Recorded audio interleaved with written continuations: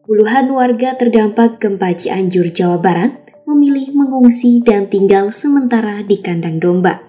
Hal ini dilakukan para warga dengan alasan mereka merasa lebih aman dan nyaman daripada tinggal di tenda pengungsian.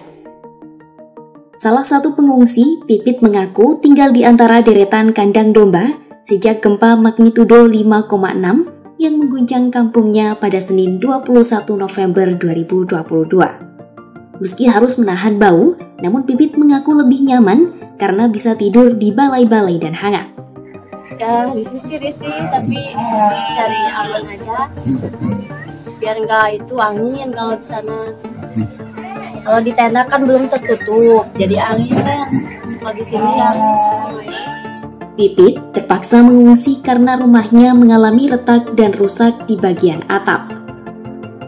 Hingga kini, Pipit mengaku tak berani masuk ke rumah karena masih terjadi gempa susulan hampir setiap hari. Sementara di lokasi yang sama disebutkan sebanyak 55 orang lain juga memilih untuk mengungsi di kandang domba. Pengungsi di lokasi ini didominasi ibu rumah tangga dan anak-anak. Di area kandang 400 meter, para warga mendirikan tiga tenda terpal di sela-sela kandang termasuk dapur umum. Kondisi pengungsi dilaporkan baik dan kebutuhan logistik pun masih ada kendati sudah mulai berkurang.